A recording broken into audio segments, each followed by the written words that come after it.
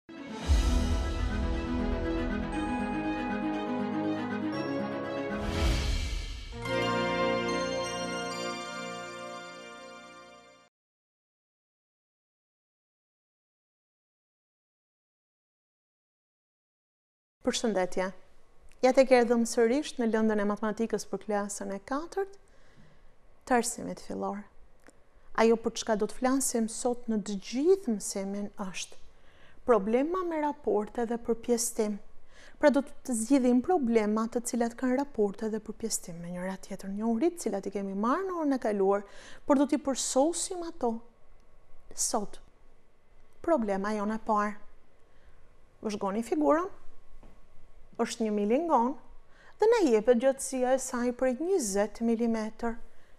Milingona e paraqitur në vizatim është e gjatë 20 mm. Analizoheni problemën e paraqitur në vizatim. Ajo është vizatuar katër herë më e madhe, pra çfarë po vëmë re nga leximi i problemës? Nga leximi i problemës po shohim që është katër herë më e madhe se realiteti. Pra sa është kjo milingon e gjatë në jetë reale? Si mendoni, si do ta gjejmë? Shohim me kujdes. Përcaktojmë thyesën një të katërtat sepse ishte katër herë më e madhe, ku emëruesi i thyesës tregon se Sa herë më e madhe është gjatësia e saj në të vërtetë, pra katër herë më e madhe. Kjo milingon me realen është katër herë më e madhe.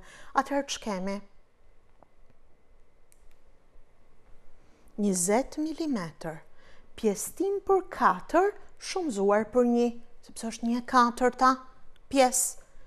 Marrim dhe themi, njëzet milimetër pjestim për katër, shumëzuar për një është e barabartë me 5 milimetër, cili është raporti. 5 është rezultati që na doli me njëzet me kë gjatësinë në të cilën ishte zmadhuar në vizatim milingona jonë. Në rastin e dytë, sërisht milingona dhe kemi në një grup milingonash janë gjithsej njëqind e katërmbëdhjetë këmbë. Si do të gjejmë sa milingona janë gjithsej kur janë njëqind e katërmbëdhjetë këmbë? Pra, e dim ne se sa këmbë kanë milingonat, po mjafton të shohim figurën në qoftë se nuk na kujtohet. I numëroni pak një nga një. Një, dy, tre, katër.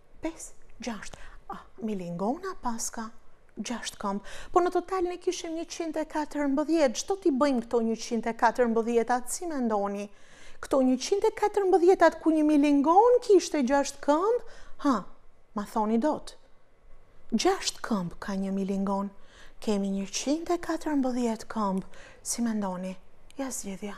Një milingon ka gjashtë këmbë, atëherë njëqind e katërmbëdhjetë këmbët që na janë dhënë, i pjestojmë për gjashtë këmbë që ka një milingon dhe na dalin që për njëqind e gjashtëmbëdhjetë këmbë ne paskemi plot nëntëmbëdhjetë milingona. Cili është raporti për këto nëntëmbëdhjetë milingona?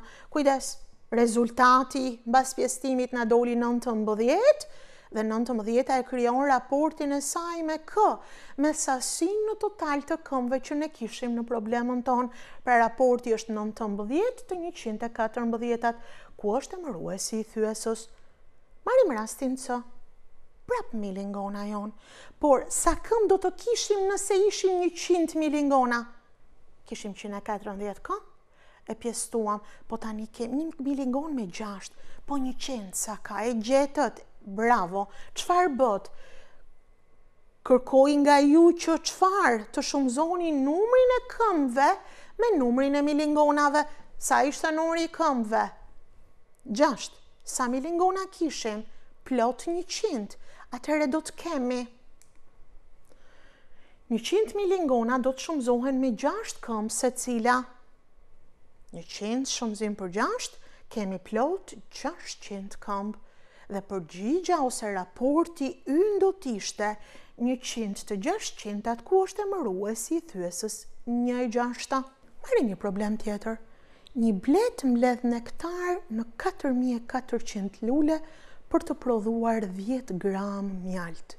Sa shumë punë iu dashka bletës tonë për të sjellë në tryezat tona atë mjaltin që ka shumë vlera ushqimore, jashtëzakonisht të mëdha për jetën.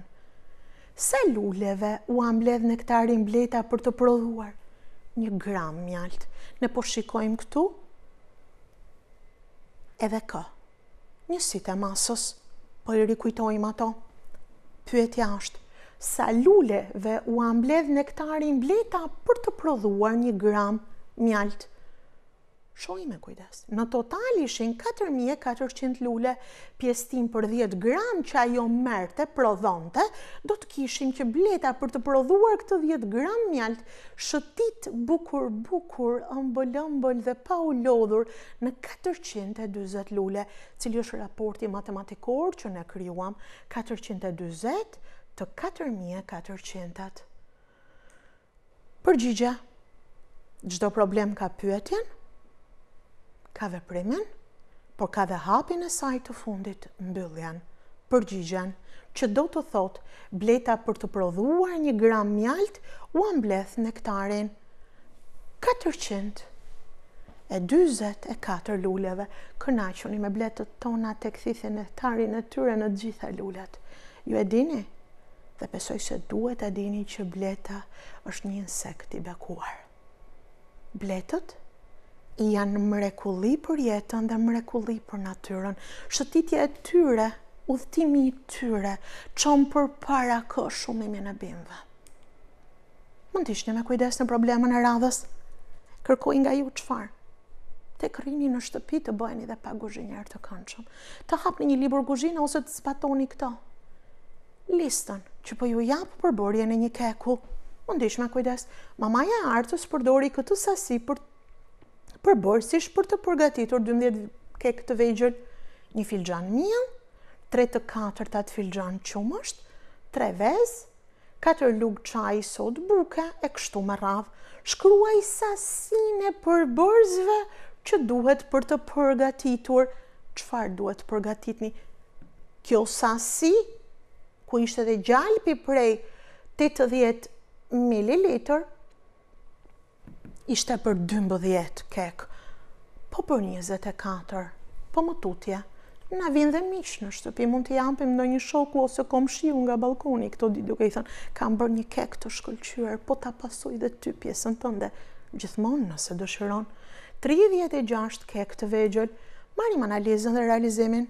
Për dymbëdhjetë kekë të paraqitur ne do të kishim emëruesin e thyesës një të dytën që tregon se do të rritet dy herë, pra dymbëdhjeta bëhet njëzet e katër dhe ne të gjithë përbërësit që kishim në tabelën e parë do t'i rrisim masat me nga dy herë, për të krijuar sa 24, pra nuk do të kisha më një filxhan miell, por sa do të kisha 2, nuk do të kisha më 3 vezë, por sa do të kisha 6, e kështu me radhë se ju i rrisni vetë këto bukur bukur dhe e shikoni se si krijohet, cili është raporti në këtë rast kur ne e rrisim me dy herë përbërësin për pregatitjen e 24 kekëve, raporti në këtë rast do të ishte 12 të njëzet e katërtat në rubrikën B. Nuk na dolën të ngri, i hëngrëm shpejt e shpejt ato që bëmë me raportin dy herë më shumë. Na duhet të përgatisim akoma kekë, pra duhet ta rrisim raportin në tri herë më shumë. Ç'do të thotë, nuk do të jetë më 12 por do të jetë sa tridhjetë e gjashtë dhe gjithçka prej përbërësve do të shumëzohej me tre për të nxjerrë si produkt në fund fare plot 36 kekë, cili ishte raporti kur ne e rrisnim atë me tri herë, raporti do të ishte 12 të 36-tat. Merimanga Merimanga e dhënë në figurë është tri herë më e madhe se e vërteta. Trego. Si do ta gjesh gjatësinë e vërtetë të Merimangës? Do ta masim në radhë të parë njëherë, do të marrim një vizore dhe do të shohim se sa e gjatë është kjo Merimanga që është vizatuar tri herë më e gjatë se ç'është në realitet. Pra e hedhur në letër. Tre herë më e madhe se ajo e vërteta janë të dhëna që i marrim në problem.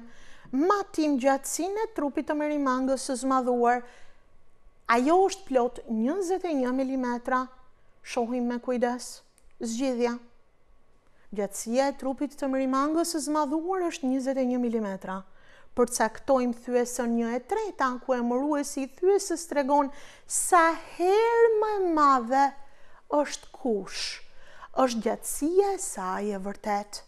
Atëherë do të kishim njëzet e një milimetër që na doli e matur me vizore gjatësia e merimangës pjestuar për tre që janë herët në të cilat ajo është vizatuar më e gjatë dhe do të kishim 7 mm raporti matematikor i të dhënave që kishim ato që na dolën është 7 të njëzet e njëtat. Tani e shkrova, sepse ju duhet të keni kujdes në matjen e gjatësive dhe përdorimin e vizoreve. 21 mm ishte kjo e vizatuar si më e madhe, por në reale sa na doli milingona jonë. Milingona jonë në reale na doli plot 7 mm. Marrim planin e klasës. Enkeli ka vizatuar planin e klasës dhe shkalla që ai ka përdorur për vizatimin e çdo objekti është një e njëqindta e gjatësive të vërteta. Ku i gjejmë ne? Në vende të tjera, shkallët me zvogëlim në harta keni marrë në histori në një periudhë të caktuar të klasës së katërt dhe ju ka mësuar mësuesja të lexoni legjendën e hartave dhe shkallën e zvogëlimit që përdoret nga realiteti për vendosjen e të dhënave në hartë. Në këtë rast, si është vënë, si janë vizatuar objektet, është vizatuar sa një e njëqindta e gjatësive të vërteta. Shohim me kujdes. Pra, gjatësia e klasës është njëqind herë më e madhe se ajo që tregohet në figurë. Po ta shikojmë nga sipër planin e klasës, nuk është kaq. Ama duke e zvogëluar atë, e kemi zvogëluar 100 herë, pra klasa është 100 herë më e madhe, kurse ne e kemi zvogëluar atë për ta vizatuar në plan 100 herë më të vogël. Ndjekim me kujdes. Në vizatimin në plan ju e dini. Është karrigia e mësuesit, Është tavolina e mësuesit simbolet që përdoren për vizatim, se s'mund ta vizatonim të plot, po vizatojmë të parë nga sipër planin e klasës tonë. Ç'është ky? Koshi i mbeturinave.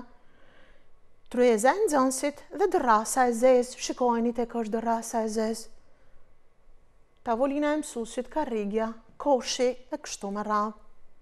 Gjatësia e klasës është 100 herë më e madhe se ajo që tregohet në figurë, pra ky është plani i klasës. Gjatësia e saj është plot 100 herë më e madhe. Dhe do të kishim Barazimi i dy raporteve krijon një përpjestim Shkalla e zvogëlimit një me njëqind do të thotë që objekti vizatohet një centimetër në letër, në plan, dhe në të vërtetë ai është plot 100 cm, pra çdo 1 cm në natyrë është 1 cm në plan. Marren.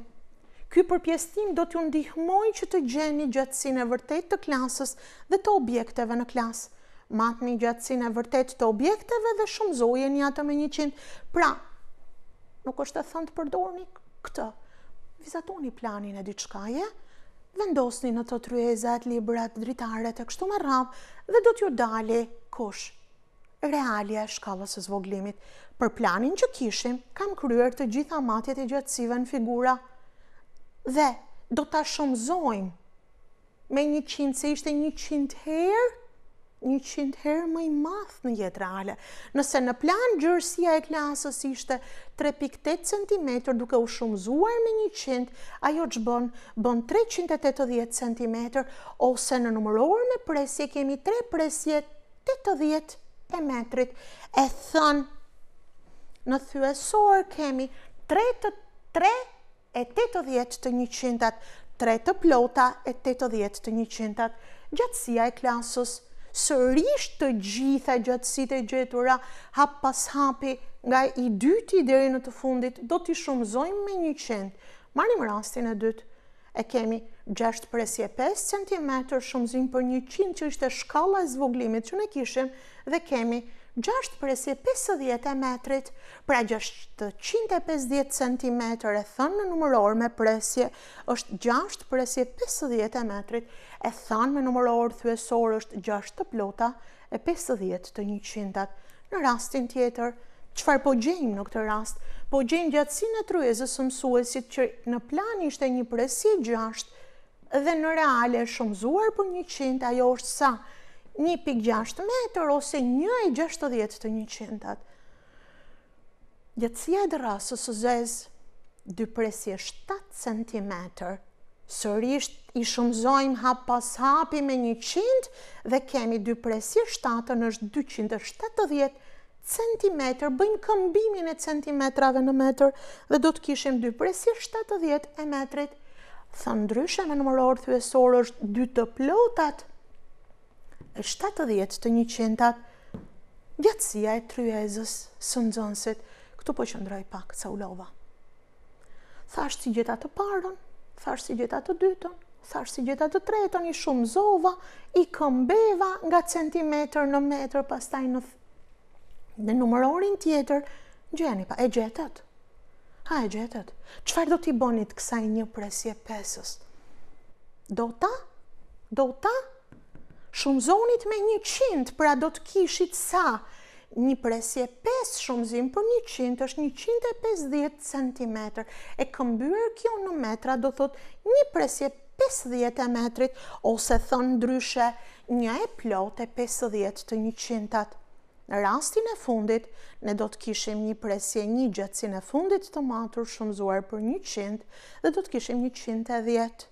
Njëqind e dhjeta e centimetrit në metër shprehet një presje dhjetë e metrit, kurse në numëror thyesor të plotë dhe thyesor do të kishim një e plotë e dhjetë të njëqindtat, kush ishte një Presje dhjetë e metrit gjatësia e tryezës së nxënësit. Detyrë shtëpie. Shikoni me kujdes. Kjo është dhoma e një djali. Dhoma e Andit. Andi ç'bëri mati gjatësinë e shtratit të tij. E mati. Raporti i gjatësisë së shtratit me gjatësinë e dhomës është një e dyta, pra shtrati qenka sa gjysma e dhomës. Pra, e mati gjatësinë, por raporti i gjatësisë është sa një e dyta. Pra, shtrati është sa gjysma e dhomës, ose dhoma është dy herë më e gjatë se shtrati. Marrim të dhënën që na kërkon autori dhe na jep autori, gjatësia e dhomës është 4 metër, po ju thashë një e dyta e dhomës, pra gjej sa është gjatësia e shtratit të Andit, i kemi përdorur dhe gjetur. Çfarë do t'ju thoja?